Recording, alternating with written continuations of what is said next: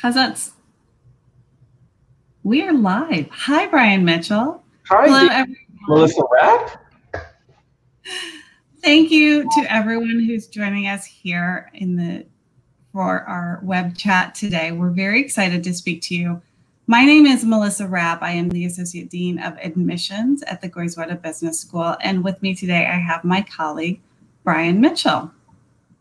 Good afternoon, everyone. I'm Brian Mitchell. As Melissa said, I'm the program dean for our full-time MBA program. That means I lead the one-year and the two-year MBA program here at Emory Goizueta, and it's really great to be with you in this uh, in this format. We're looking forward to chatting with you um, about Emory Goizueta and answering whatever questions come our way. Great. Uh, so before we take any questions, Brian and I wanted to take a minute to talk about the programs. We don't have a formal PowerPoint presentation or anything like that. You can find all of this also on our website, so don't be feel like you need to write everything down. But I do want to talk a little bit about what makes Goizueta special and unique and why we think it's one of the best schools to consider for your MBA journey. So to kick that off, let's start with what Brian already mentioned we do offer a portfolio of MBA programs for you to choose from. So that would be our traditional two year MBA and then our one year program. Brian, why don't you talk a little bit about the differences and who might benefit from each of those programs? Absolutely. So, um, I guess normally or usually in the United States, when people historically have thought about MBA program, the two-year MBA model uh, is the most common. It's been around in the states the longest, and that is a traditional four-semester program that starts early in the fall. Um, but you have two semesters uh, of first-year work, and then a summer internship in between and then you come back and complete your your uh, MBA experience with two more academic semesters before going to work full time. And that is a great program for students who are looking to pivot or switch careers. It's a great program for students who want to explore or take time to explore different areas and take time to build depth in their particular area. So that's the most common format for coming back and doing your MBA uh, in the US. However, the one-year MBA program, which is an accelerated uh, program, although it's a smaller program, is a very popular and efficient way of doing an MBA for students who are not making a wholesale career switch. And the real way to think about what differentiates one program from another is to ask yourself the question, how much do I want or really need that summer internship experience?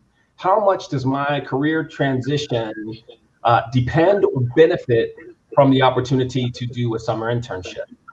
And if you're thinking that that might not be necessary for you to take the next step in your career or get to um, the next type of work that you that you want to do, then a one-year MBA is actually very um, very efficient way to do it. And you're seeing them become more popular in the U.S. We were a first mover in this uh, area, so our one-year program is over 30 years old, very popular with students, and a, and a great way to do three semesters um, and finish in 12 calendar months. So you would start in the summer, and you would go three semesters in a row, and you would finish the following the following May. Um, so each of those programs are full-time MBA programs. Um, for the one-year program, you start in May, as I mentioned, and then you join the returning second years for that for their post-internship year. So it really does feel like a a, a singular cohort by the time you finish. Yeah. Um, I know it's a great option for people who already have built within their resume the, the credibility to either pivot or to accelerate their career. That internship is really important in kind of building that resume credibility if you're trying to make a big pivot. So, definitely two years for that. Um, Brian, I know a lot of students, when they look at the one year and the two year programs, are thinking, well, what am I giving up in the one year program? Or are there things like career services that I have to compromise on? Can you talk about that a little bit? Absolutely. And remember that the one-year program is much more similar to the two-year program than it is different. You know, these programs are made to um, ensure that a one-year MBA student is not sacrificing um, any aspects of the experience just to gain that that time back.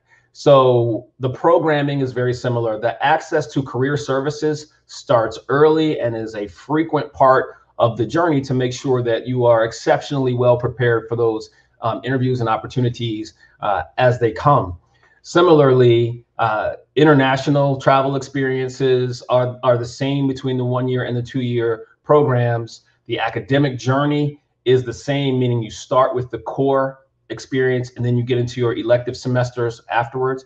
So the real main difference is that is that internship. And to Melissa's point, you want to think about that in terms of what has your previous experience been and how does that experience in addition to your academic journey position you for your your next uh, your next move so these are in the one year program historically uh, students who have a business background um, or who work in an industry and they'd like to stay in that industry but go to another level. Uh, a lot of management consultants who have seen you know business through a very very broad lens and want to either work on the client side or at a higher level in consulting. So those are the kinds of paths that would lead you to say, well, a summer internship is is a little less valuable to me than getting in and out of the program in, in a year. Yeah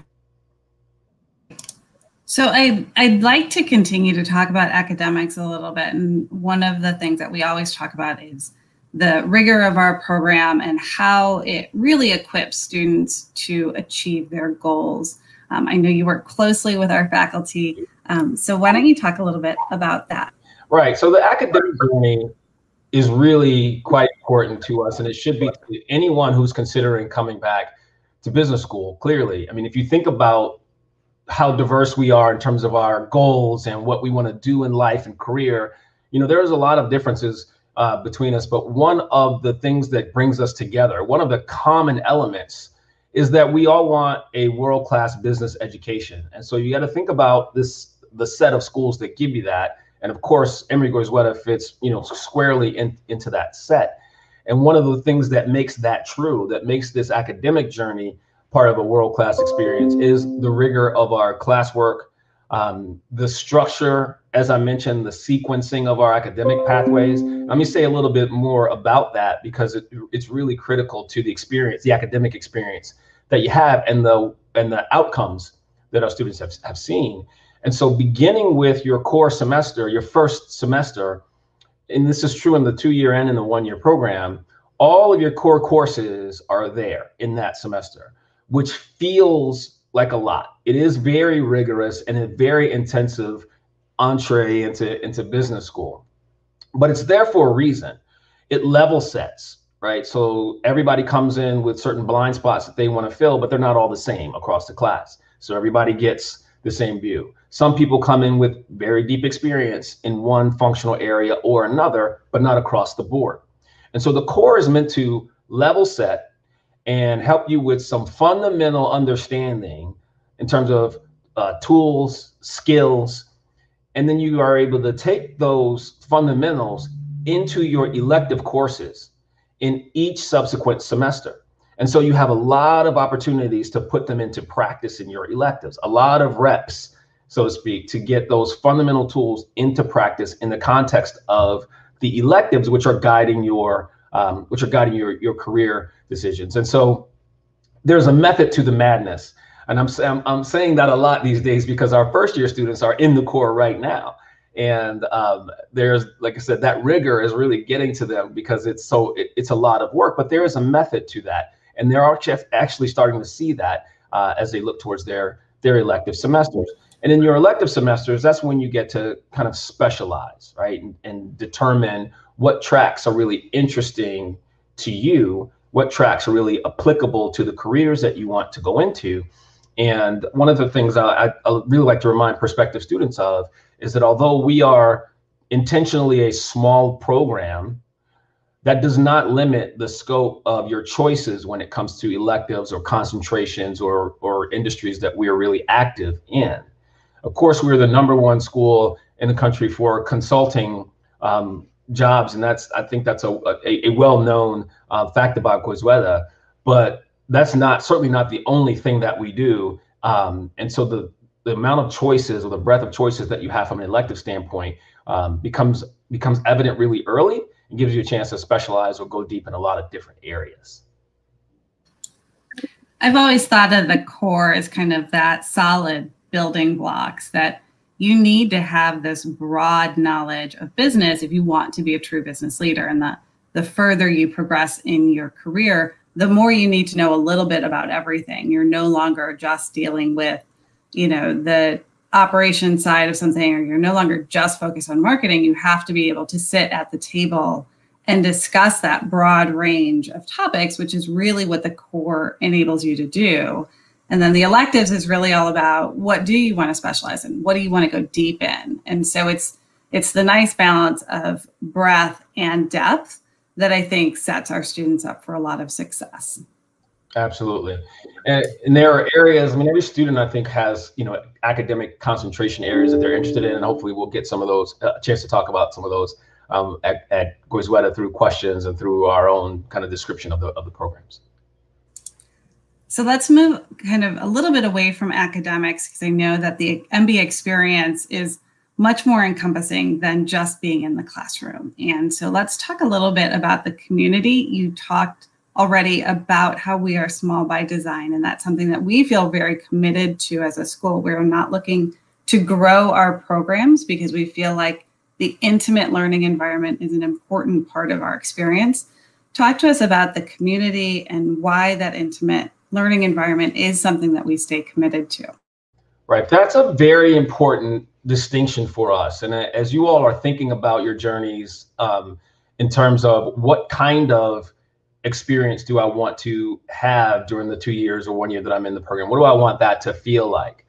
I started to tell you a little bit earlier about this set of great schools, you know, the, the rigorous academics, and that's the thing that brings us all together, right? We want that. But if you then layer over um, the fact that we deliver that level of academic experience in an environment that is intentionally small, you know, we're among the smallest of the top 20 MBA programs. And so, you know, you instead of going, coming in as one of a thousand or even 500 or even 300, you're coming into Goizueta as one of around 150 or 160 students. And that really feels different you know, in terms of getting to know your classmates, feeling ingrained in the community, um, having the type of access and relationships with your faculty and your leadership, all of those little things are not so little when you're going through an MBA program um, and the academics do become stressful. So you need a little bit of, of one-on-one time or the career conversations start to become more focused and you really want to talk to someone with with inroads in a particular industry. Um, it, or you really want to develop as a leader and you're looking for opportunities to really not hide back, you know, um, but be seen and to and to lead from the front. And that's the way that coming to a program that is, we call it an, the intimate learning environment. That's a real difference at Goizueta when you start to compare it to other really good schools because usually really good schools are also really big schools. And you can look at the data and kind of see how that how that plays out. So that becomes a real unique factor for Goizueta where you get the combination of an excellent business education in an environment that is high touch you know in an environment that is intimate by design. Uh, and that that really shows itself in in many different ways. I had my office hours this morning Melissa. And I was pleased to, I am pleased to be able to tell you that for each student that that joined me for our virtual chat this morning, I already knew all of them by name and where they were from, and I knew a bit of their personal story. And we're still only into September. You know, we still haven't had a lot of time together, and so that's really a hallmark of how we deliver the experience, and it makes a big difference uh, at, at, at our community.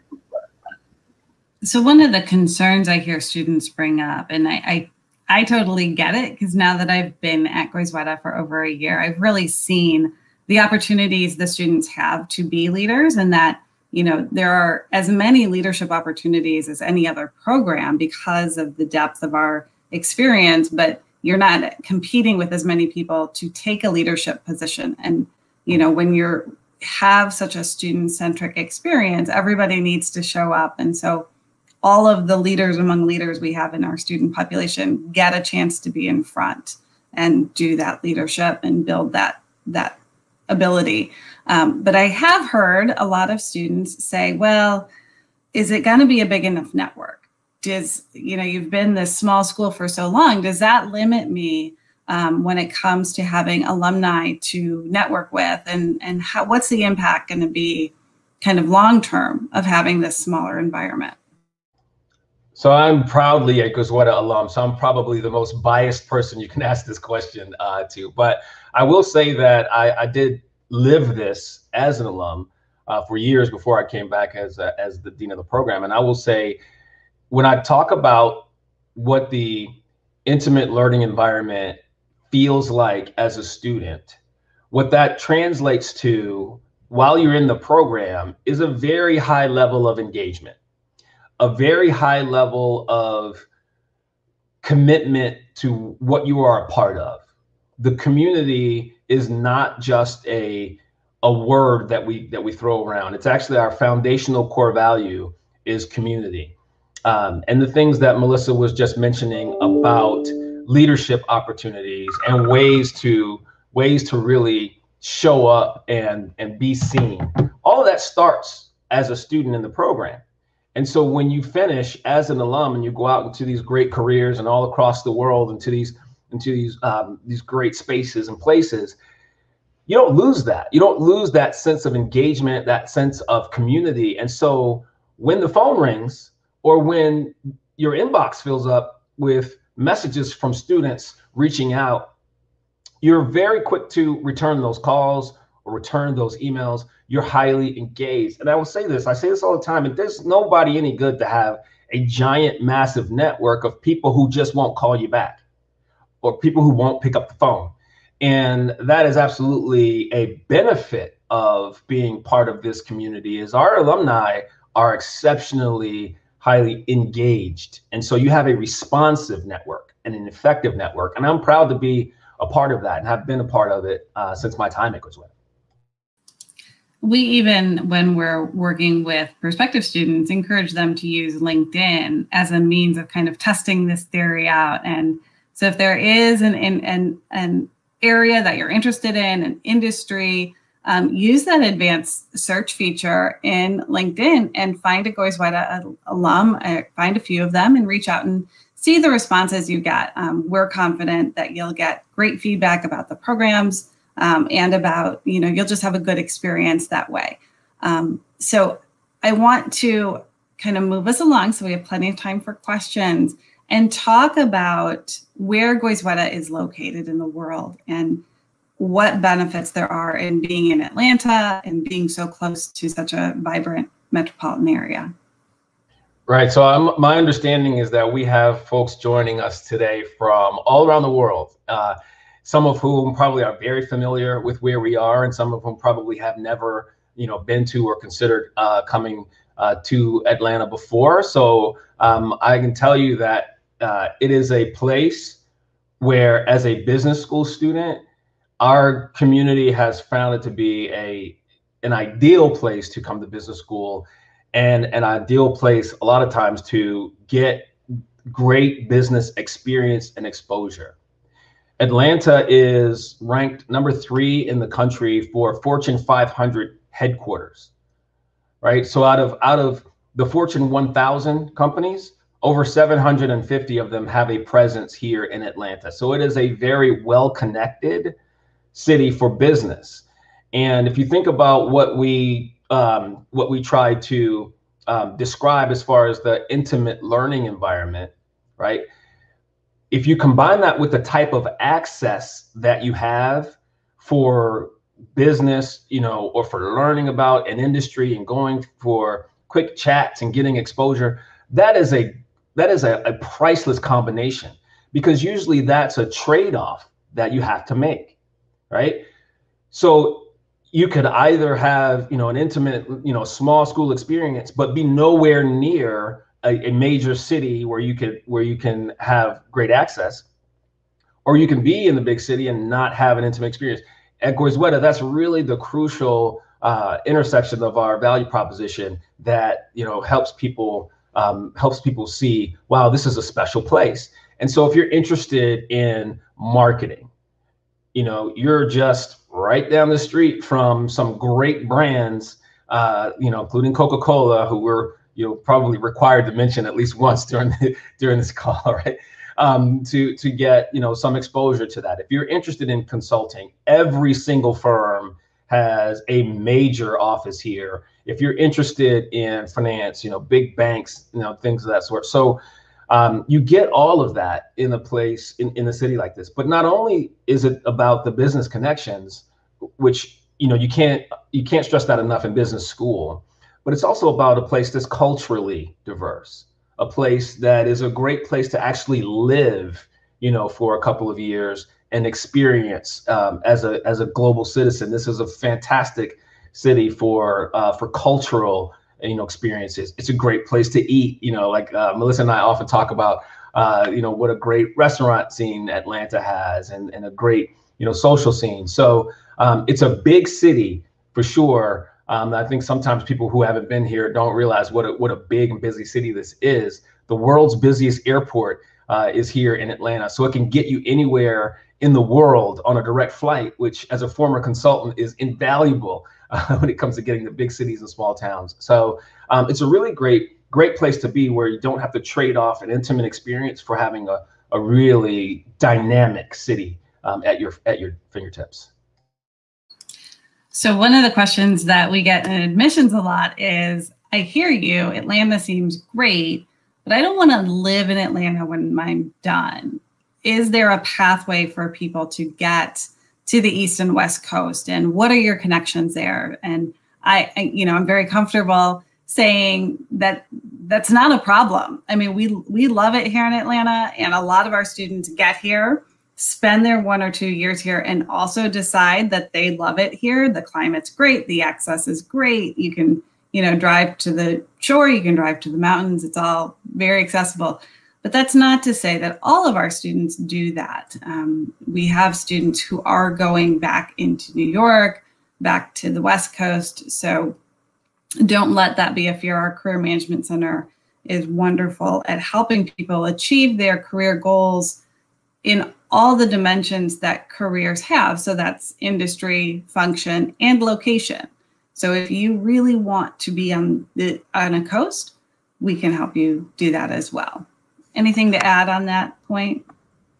I'll just say that, you know, think about where business is done. And, you know, a great program like ours is well placed in all of those places. So, yes, students come down to Atlanta to have a fantastic experience in all the ways that I described. But if you want to either get back to a place, a lot of people come from other places and want to get back, or if the industry that you're interested in is you know concentrated in another area like you know tech in the in the northwest you know where where business wherever business is done we have a presence there so the number one hiring companies or the top hiring companies in kind of MBA land are absolutely close partners with us so company think about companies that are no geographically nowhere near atlanta like facebook and google and apple you know we send students to all of those places big investment banks in New York. We absolutely send students to all of those banks. Uh, pharmaceutical or brand companies in Chicago and in the Midwest absolutely have a strong network um, and send students to all of those places. So by no means are you tied to Atlanta or the Southeast when you come to to school here. And I think that's a great question, um, but a very important um, distinction that um, that that's important to make. And to to tactically, Melissa, your point about using LinkedIn to connect with our some of our alumni or students, you can do that kind of cross section and see where people are uh, or where people are from, and ask questions with that in mind, and you'll see that there are people um, who are well placed all over. Yeah, absolutely. Um, I think a lot of people are curious about how academics and the program experience have changed in the current climate. And, you know, Atlanta has been in the news a lot lately about COVID, about racial issues, about all sorts of things. Um, so, can you talk a little bit about the impact or some of the changes we've made to address anti racism and diversity and inclusion? And then also what the class situation has been like during this time when we're we have so many restrictions? Right. So I, I say often the summer of 2020, you know, will be defined a, a number of ways, uh, and it's really important because you know COVID 19 tends to dominate our narrative about the summer of 2020. But it's really important to realize that there are intersecting crises that that really came to bear uh, during the summer. Uh, and my summer in particular, and I think this is true for a lot of people on this call, was spent actively, actively dealing with the COVID 19 crisis and the crisis of anti racism or racist violence here in uh, in the states, and some of that, you know, closer to home than uh, than others. And so um, we've been we've taken a very active stance. I don't think it's only because I am the program dean and happen to look the way that I do. I think that's part of our values as a university and as a business school. But I'm proud to be um, a leader in that conversation at Goizueta. And some of the actionable things that we've done on the anti-racism front have had to do with expanding our conversation about the role of race and racism in business beyond those folks who would typically opt into the conversation and open it up to everyone um, uh, who touches our programs. So we have a common read that we um, that we would always do for um, students who opted in, uh, called Whistling Vivaldi. It's a great book about bias and stereotype threat, and everyone should should read it. So plug for for Claude Steele uh, and his and his great book called again Whistling Vivaldi. But this year we get no compensation for this. We don't for this plug. I'm gonna write no. book. Just a uh, great doing book. it that way, but it is a great book, and I encourage you all to read it because it's it's in particular a great book as you enter into a new academic environment. So it talks about the burden of of stereotype threat, of bias, and of racism on people as they enter into and, and go through an academic environment. But it touches on societal challenges and it's very topical for what we're going through right now. So we expanded that conversation to the entire community and we're able to have a full community discussion this year, which is different from what we have had in, in um, historical years, where it's a, it's, again, it's an opt-in, so sort of preach to the choir conversation it was much more inclusive and much uh, broader, just like what we saw this summer with the protests and the participation in this movement was much broader than what we have historically seen. So we've been tracking along with that at Goizueta. Um, we this week um, had on Wednesday Ibram Kendi, who's the author of How to Be an Anti-Racist he delivered a web chat um, to the Emory community, and we were actively a part of that. So, kind of from the horse's mouth, being in that conversation, I think has been really important to us. On the COVID 19 side, you know, Emory University is very well known for healthcare. I am a shameless alumni of our School of Public Health. And so I pay very close attention to this through that lens. I'm not an epidemiologist, I'm a policy guy, but I do have a special interest from the public health side. So as this crisis has been um, really growing since the spring and especially over the summer, we've been really thinking about how we would deal with it on our campus this fall and beyond. So our decision was for our MBA programs to come back to school, come back to campus in a hybrid way. So overall, we've we've taken on the, the first tactic of de-densifying the, the overall campus population, but still having a hybrid model available for our MBA students to have some campus experience. And then we've integrated the same public health uh, procedures that we should all be following every day in our in our lives off campus, which are keeping your physical distance. So the building has been, you know, redesigned for us to sit together, but still be at least six feet apart. Uh, so keeping our physical distance, wearing our masks at all times, um, washing our hands obsessively. I would say um, really paying close attention to our symptoms is a big part of it. So we've been um, really, I think, on the forefront of being able to have an on-campus experience for our students uh, this semester. Um, we talked a little bit about Atlanta and you know the fortune 500 companies and how well connected it is but I, I don't want to miss the opportunity to also talk about what a dynamic startup community is. I know many MBAs are super interested in um, entrepreneurship, either immediately following business school or maybe down the road. Um, innovation and technology is an important part of an experience that many of our MBA prospects are looking for. Um, do you want to talk a little bit about some of the developments that we've been having here in Atlanta and the connections Emory has that students can leverage? Yeah, you know me, Melissa, it's one of my favorite things to talk about because we've really doubled down in a, a few of our strategic areas um, recently at the business school, which is very exciting. And entrepreneurship and innovation has always been, you know, a big part of what we do. But when I say doubling down, I mean doubling down in terms of investment and focus in an area. So it's a really big deal when schools create institutes. So we are in the process of creating our Institute for Innovation uh, and Entrepreneurship, which is um, highly engaged in the Atlanta startup and tech community, but also has a global reach uh, where I've been, you know, directly involved, and I think that's super exciting. I saw a question um, about Atlanta Tech Village, uh, so someone knows something about uh, Atlanta uh, in our audience here. Um, Atlanta Tech Village is a hub for entrepreneurs, and in particular in the tech space uh, here in Atlanta, and they're well resourced with um, other startup minds uh, financing, you know, opportunities, pitch opportunities, everything that you would expect in an inc- in- incubation hub um, in a major city like ours. You can also find attorneys who can help with intellectual property and all those things at Atlanta Tech Village. I think it's a very important point for those who are interested in this area to know that the number one uh, leaseholder from a square footage standpoint, the number one academic institution uh, there at Atlanta Tech Village is Emory Goizueta. And so if you want to go over to meet with other entrepreneurs and incubate your ideas, we have space there that's dedicated for our students. And it's, you know, we are the leaders in that area. And ATV, Atlanta Tech Village, is um, right, you know, a couple of miles off campus. It's a great hub, right on campus, another signal for our doubling down is the creation of what we call the hatchery.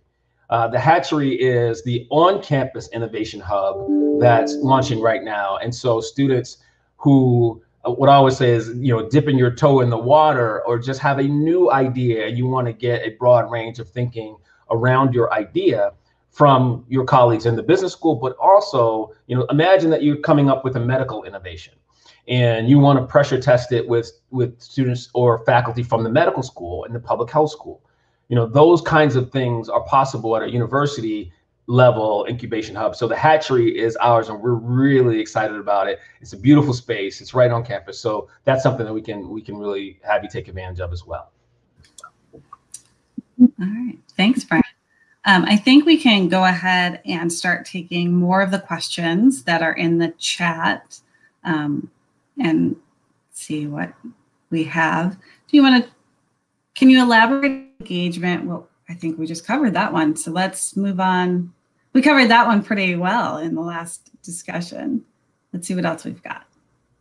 I actually think that question was from someone who I who I may have met in a uh, in previous encounter. So if Malcolm Talbert is who I think he is, then uh, we may have some history in common.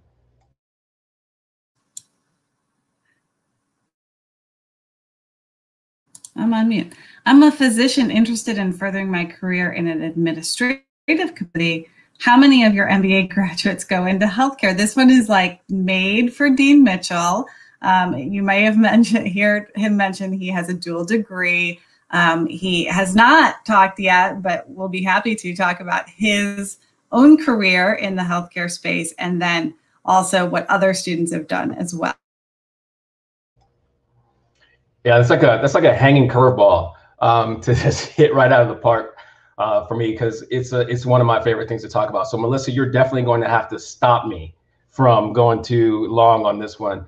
You know, uh, I had a 20 year career in the healthcare space and in particular in pharma, and so I'm very very familiar with the intersection between business and healthcare and how Emory and, and Goizueta can really help with that.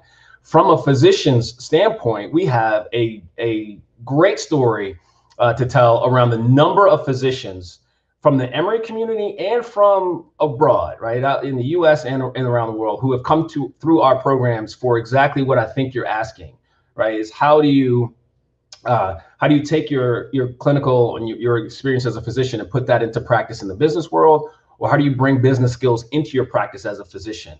And coming back to our conversation about the one year or the two year program, the MBA programs, we have a, a high number of physicians and or medical students who come through the one year MBA program. So that tends to be a very attractive track. First of all, because it's one year versus two, so the time element um, fits into either an existing course of study or it's a return on investment question in, more in terms of time and opportunity cost. So a number of physicians come through the one year MBA program, and also because you're not really looking for a summer internship usually. Um, you're looking to go directly back into practice or back in the business world. We're able to combine your coursework in your elective semesters between the business school and the school of public health or the med school or the law school or other areas, right? And that's really important you know if you're since you're a physician you, you know you may not want to go back to taking med school courses but you may want to take courses at the public health school that, that helps you kind of look at business or your business through that lens. Or you may want to look at it from a law school perspective. So we so we very are we, we're very much helpful um, in that regard. Healthcare is in our dna as i mentioned before at emory. And so we have you know in all of our programs you know, and I'll even plug our other MBA programs, our executive MBA uh, programs in either format. Um, a number of physicians who come who come back to that. I think the, the way that medicine has gone, and this is not a recent phenomenon, certainly over the past you know 20, 25 years, is that a lot of physicians are looking at ways to integrate business into into what they're doing, um, either in, in a individual way, you know, working in corporate or into their own practice. So this is something where we've grown a great deal. And healthcare is one of our strategic areas of, of investment as well. So we, I can talk about this for a, a really long time. So I'll, I'll that's probably enough for today. All right, fair enough. You can, you can find Brian's email address or like hit him up on LinkedIn. He's happy to continue this conversation. It looks like Malcolm confirmed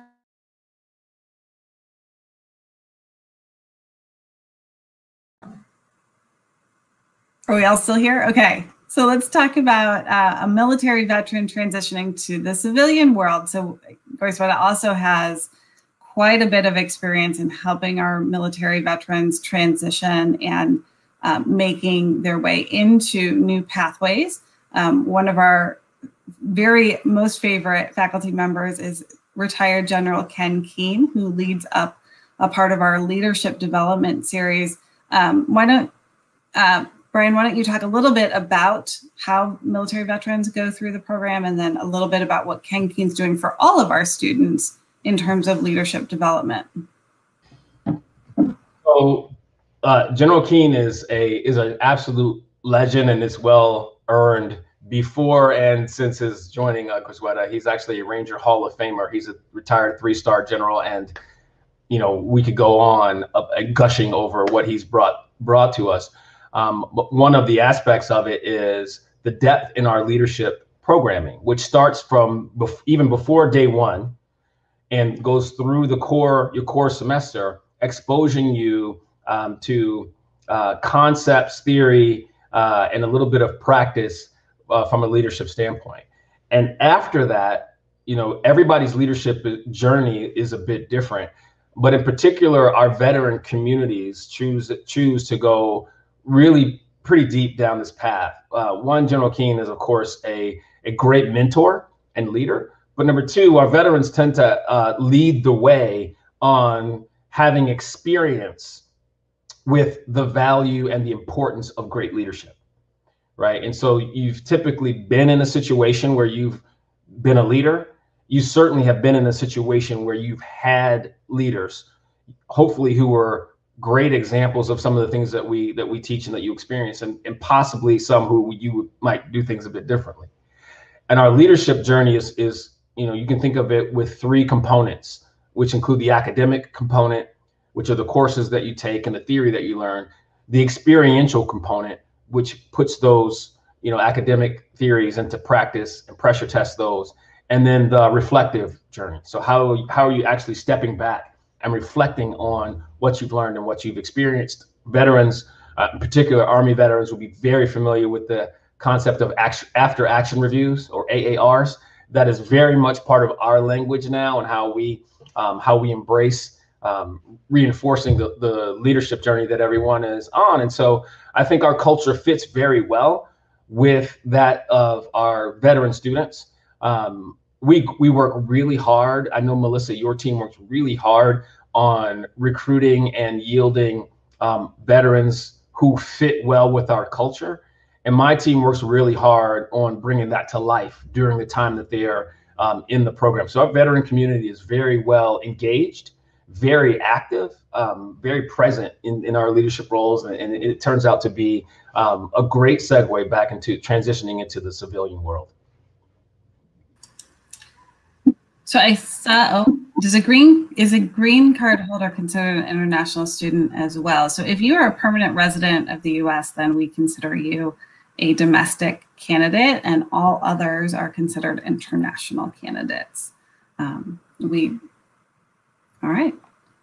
Uh, can your second letter of recommendation? I know this acronym can be from a client if I come from a consulting background. The first one would certainly be from a direct supervisor. So that's perfectly fine. Um, we do design the application to have two letters of recommendation so that you can use an alternate source.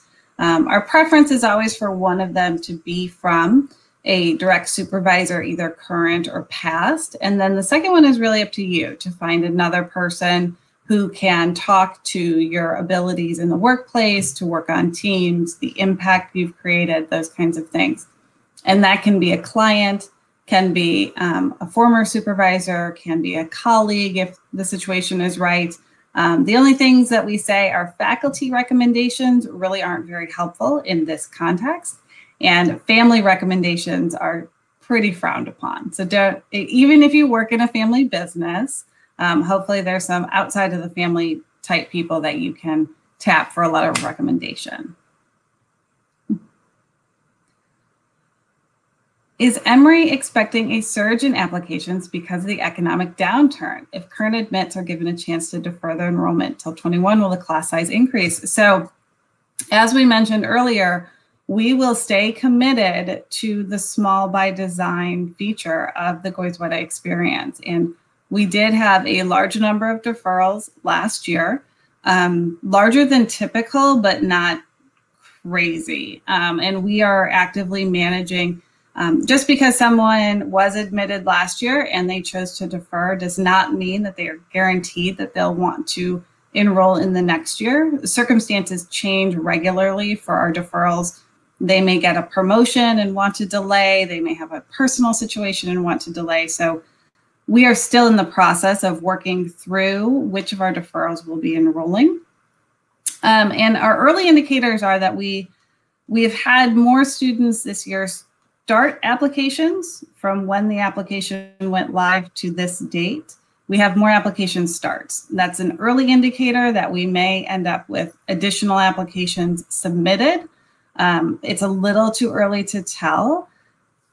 Historically, yes, when the economy takes kind of a downward or there is a high level of job insecurity, applications to MBA programs go up. And so if you just look at the historic data, there is a likelihood that applications will go up. We won't grow our class size past for the two-year program about that 160. Brian, you, are going to make this. You're going. We're going to make this call together at some point, but around 160 is really where we feel like we can deliver the type of experience that we want to deliver, and so we won't grow much beyond that. Uh, and in the one-year program, you know, we've always stayed right around that where would we like to be? 67? 55. Yeah, six. Yeah, 55.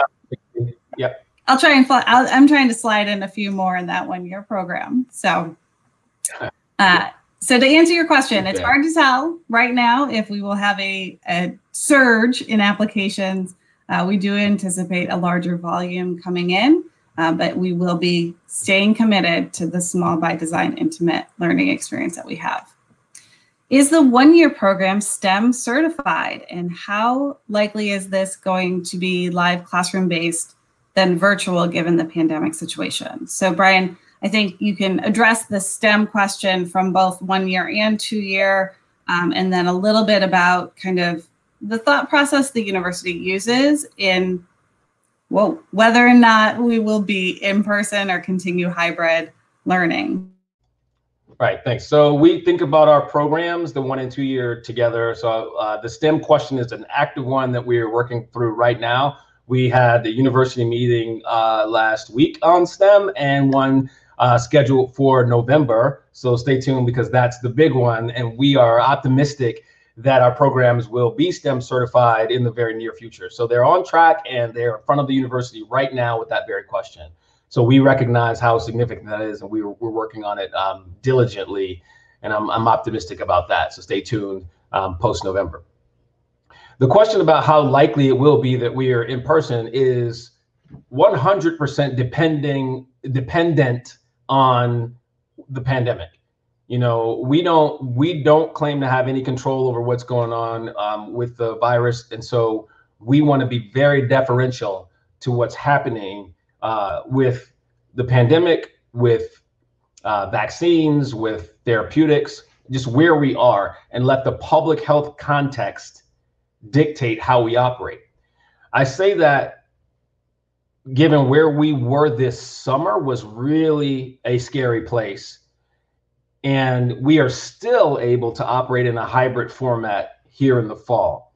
So that should give you, it certainly gives me some confidence that regardless of where the pandemic journey is, we're we're likely to do we will do everything that we can to be able to deliver you know an experience that gives you um, at least some touch points on campus. But i will say this in addition. When we were all and this is not just emory but when we were all asked to kind of leave campuses in the spring and figure out what was going on with COVID 19 at that time. Every conversation we had at Emory was about how do we maintain our academic excellence? How do we maintain the quality of the academic journey that continues to prepare you for the journey that you are on? And that has content, continued into the fall. And so everything that we're doing in this hybrid format, or even the courses that are fully online, they are um, intended to deliver on that academic promise. And so we measure that every week through our student surveys and through other touch points to make sure that we're delivering that academic promise that we have always been committed to and we remain committed to that. And so I don't know how we'll look in this coming fall, but given where we have just, um, excuse me, come from, we're likely to have some sort of experience on campus, even if it is hybrid, or hopefully by the fall we're back you know, fully live again. But one thing you don't have to worry about is whether or not your your academic journey will be sacrificed. That's not how that's not how we, we're doing it, and we're showing good results with with that right now.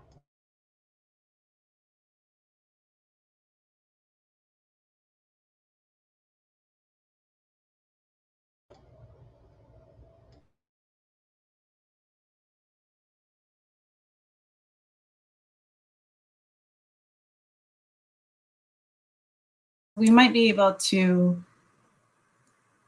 I've been on mute. Sorry, folks. Um, I was just saying I don't have the expertise to answer this question. Brian, do you have any insights, or perhaps we can just connect with this person? I, I, don't. I don't know how that works exactly. So I think a, a, a one-off conversation might be best. All right. I'm a candidate with 11 years of experience and Will it be a big negative, all caps, big negative in the application process to Emory's one year program? I would not call that a big negative. Um, really, what we're going to be looking for is where have you created impact in your current role? Um, why are you attracted to Goizueta? And then what are you hoping to do afterwards? And I think you you need to really be thoughtful about where you are in your career and where you'd like to go. And is the MBA the right piece to help you make that transition. And, and that may or may not be the case. I will put a little plug in here for my admissions team who offers one on one consultation. Our website and schedule a 30 minute one on one consultation with an admissions director who is going to be able to very personally answer questions like these. So they can help you look at your resume, talk about your goals. Is an MBA the right way to do it? Again, we call it a career management center because it's not a job placement center. So just coming here does not mean that that team is going to, you know, pick a jar out of a hat and give it to you. Um, there's a lot of work that goes into that, and a lot of it is dependent on your background and what you take advantage of during your MBA program. Um, and so that's really where this will come into play. Your goal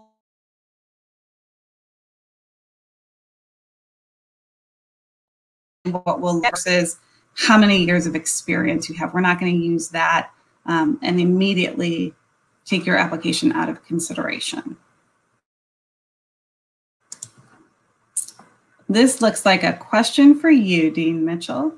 I see it. I see it. Understanding the pedagogy of Goizueta um, when compared to other business schools. So um, if you're doing your homework on, on business school programs, you probably have heard of the CASE method and are wondering, you know, uh, what that is and how much that's used in business schools.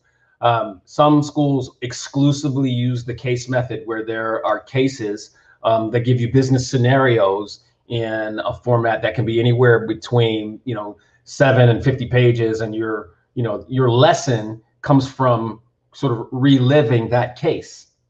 Um, we absolutely use the case method about 60% of the time in the core, but it's really important that we blend uh, the approaches.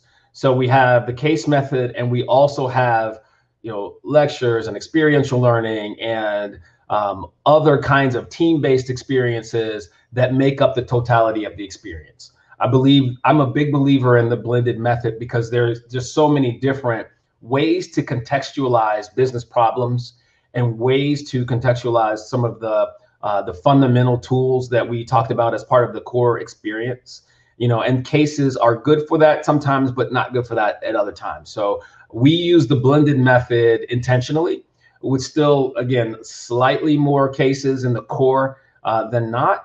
Uh, and then as you get into your elective semesters, I would say that reduces even further uh, to about 40 or 50% casework, and uh, the other 50 or 60% being, you know, uh, other types of pedagogy because you're at, in your elective semesters, things are getting much more specific, much more specialized to a segment, a sector, an industry, um, or sort of problem, type of problem, function that you are studying. So uh, the case has become a little less relevant from that from that standpoint. And I hope that that answers the question. Our, our students and again our outcomes tend to suggest that we're we're getting that we're getting that pretty pretty right.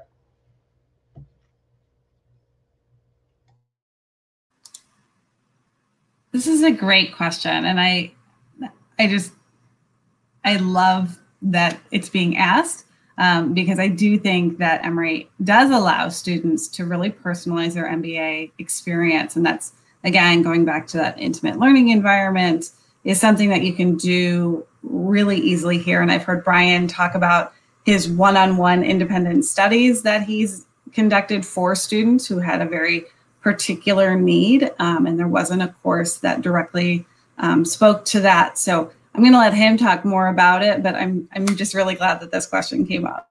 I'm glad that it did as well. Um, I like the way that it's phrased too about personalizing the MBA program. I think that um, you know one of one of my kind of um, one of my objectives is to meet you where you are, right? To to uh, to to get to know our students as you know whole a whole person, and to meet you on your journey where you are. And and sometimes that does look like a very personalized relationship and experience for students. That largely depends on how much you lean into that and how much you put into that. But if you lean all the way into it, then this can be a highly personalized journey. And I speak from my own experience because it was highly personalized for me. I came into the MBA program with a great deal of healthcare experience and knew that I wanted to stay in that industry as I headed out of the MBA program. So I tried to get the most tailored experience that I could get to add real depth to my education. And I found my faculty to be very, very open, uh, open to that. And that gets me to the second half of your question about allowing full-time students to choose courses in other disciplines. So I mentioned that I'm a dual degree alum, so uh, MBA and Masters of Public Health. But I did not start off that way. And it's really important nuance there. I started out purely as an MBA student. And because of my interest in healthcare, I was advised and did take courses, some of my electives at the School of Public Health. That led me to want to do more and go deeper and ultimately earn a second master's degree in it. But I didn't start out that way. And I think that's a really important um, thing to know for a question like you. We, like what you've asked here, we absolutely encourage you to take classes in other disciplines because sometimes just a class or two will give you the knowledge that you're seeking and give you the exposure that you're seeking. But sometimes it'll light a fire in you and you'll say, I want, I want to go further. And I think that's a real benefit. You know, we don't keep you locked into this scripted experience. And I certainly have benefited from that in my career. So I definitely try to make sure our students have a similarly personalized uh, experience.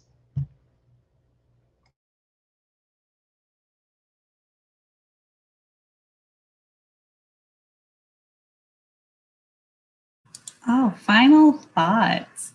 Brian, why don't you lead with your advice on folks to folks who are considering an MBA and I'll follow. Yeah, so um, thank you first of all for investing this time with us and exploring um, Emory Goizueta Business School uh, in depth. I think that's a real testimony to your approach and uh, your seriousness about the process. I'll leave you with the visual of what we were trying to describe in our conversation. So if you think about the classic Venn diagram with the three circles that intersect, that first circle should be world-class academic institutions, right? And be thinking about us as in that set based on everything that we've shared with you today. Of course, there are other schools in that set, right, that are great schools, but when you overlap the fact that you get that academic experience in an intimately small community, that learning environment, that set of schools starts to get really small. And then if you further overlap that, that third circle around doing that, having that experience in a great, dynamic, diverse city, then you know there we are at the nexus of those of those three circles. So so think about that visual as you continue to, to think about schools. And if those three things, if meeting at that nexus, those three things are really important to you, you'll be a great fit for Goizueta. We'd be a great fit for you. Thanks, Brian. I'm going to put a little more of an admission spin on it and encourage everyone to continue this conversation. And clearly, from the questions, there were some very specific personal questions that came up. Again, I saw we just posted the link to scheduling a consultation. My team's happy to talk to you. We enjoy our work very much. So please schedule a consultation. And while you go through this process, be really thoughtful about why you are doing it and what you hope to get out of it and stay true to those things for you. And as you go on this journey, a lot of people have opinions about what would be best and how to choose a school. Um, and it's very important that you maintain integrity to yourself um, and awareness of what is best for you and let that be your guiding principle in choosing your school. So I want to echo Brian's thanks for you for being here today and for talking about Emory with us and Goizueta. And we look forward to continuing this conversation later on. Thank you so much.